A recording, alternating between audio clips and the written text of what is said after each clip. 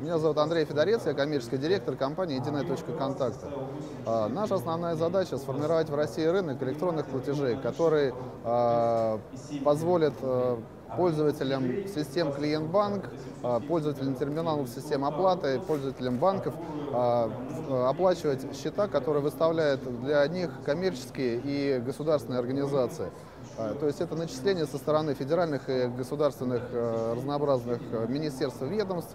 Это разнообразные электронные счета, которые а, выставляются физическим лицам, а, в, ну, юридическими лицами, которые формируют начисления, то есть интернет-магазинам, системам там, страховым э, компаниям, компаниям, которые предоставляют э, продажу электронных билетов на транспорт и там, так далее.